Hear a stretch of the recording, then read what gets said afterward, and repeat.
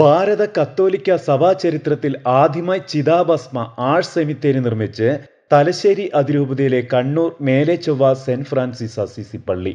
ആഗോള കത്തോലിക്ക തിരുസഭ മൃതദേഹങ്ങൾ ദഹിപ്പിക്കുന്നതിന് അനുവാദം നൽകിയിട്ടുണ്ടെങ്കിലും പരമ്പരാഗത ക്രിസ്തീയ മൃതസംസ്കാര രീതിയാണ് ഭാരത കത്തോലിക്ക സഭ ഇപ്പോഴും പിന്തുടരുന്നത്.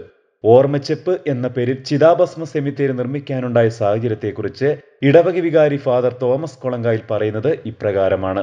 ഫെബ്രുവരി നാലിന് മരിച്ച കണ്ണൂർ മേലെച്ചൊവ്വ കട്ടക്കയം സ്വദേശിനി ലൈസമ്മയുടെ ആഗ്രഹമായിരുന്നു തന്റെ മൃതദേഹം കല്ലറി അടക്കം ചെയ്യുന്ന പരമ്പരാഗത ക്രിസ്തീയ രീതി ഒഴിവാക്കി പൊതുശ്മശാനത്തിൽ സംസ്കരിക്കണമെന്നത്. മൃതദേഹം പയ്യാമ്പലം പൊതുശ്മശാനത്തിൽ ദഹിപ്പിച്ച ശേഷം ലൈസമ്മയുടെ മരണാനന്തര ചടങ്ങുകൾ പള്ളിയിൽ നടത്തുകയും തുടർന്ന് ചിതാഭസ്മം സെമിത്തേരിയിൽ പ്രത്യേക സ്ഥലത്ത് സൂക്ഷിച്ചു വരികയുമായിരുന്നു. മരിച്ചവരുടെ ഓർമ്മകൾ നിലനിർത്തുന്നതിനായി പള്ളിയിൽ തന്നെ അവരുടെ ചിതാഭസ്മം സൂക്ഷിക്കുവാനായി ഒരു ആർട്ട് സെമിത്തേരി നിർമ്മിക്കണമെന്നൊരാശയം ഇങ്ങനെയാണ് ഉണ്ടായതെന്നും പല വിദേശ രാജ്യങ്ങളിലും ആർട്ട് സെമിത്തേരികൾ വ്യാപകമാണെങ്കിലും ഇന്ത്യയിൽ ആദ്യമായാണ് ഇത്തരമൊരു സെമിത്തേരി എന്നും അദ്ദേഹം പറയുന്നു.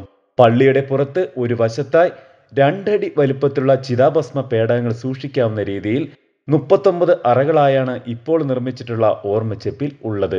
അവിടെ മരിച്ച വ്യക്തിയുടെ ഫോട്ടോ വയ്ക്കുവാനും തിരികൾ തെളിയിക്കുവാനും പ്രാർത്ഥനകൾ നടത്തുവാനും ഒക്കെയുള്ള സൗകര്യങ്ങളും ഒരുക്കിയിട്ടുണ്ട്. ആദ്യമായി ലൈസമയുടെ ചിതാഭസ്മമാണ് ഓർമ്മച്ചെപ്പിൽ സൂക്ഷിച്ചിട്ടുള്ളത്. കോവിഡ് മഹാമാരിയുടെ കാലത്ത് ഭാരതത്തിൽ ആദ്യമായി ആലപ്പുഴ രൂപത അധ്യക്ഷൻ ഡോക്ടർ ജെയിംസ് ആനാപ്പറമ്പിലാണ് തന്റെ രൂപതയിൽ മൃതദേഹങ്ങൾ ദഹിപ്പിക്കുന്നതിന് റോമിലെ വിശ്വാസ തിരുസംഘം രണ്ടായിരത്തി പതിനാറ് ഓഗസ്റ്റ് പതിനഞ്ചിന് പുറപ്പെടുവിച്ച മൃതദേഹം ദഹിപ്പിക്കുമ്പോൾ പാലിക്കേണ്ട വ്യവസ്ഥകൾ പാലിച്ചുകൊണ്ട് മൃതദേഹങ്ങൾ ദഹിപ്പിക്കുവാനുള്ള അനുവാദം നൽകിയത്.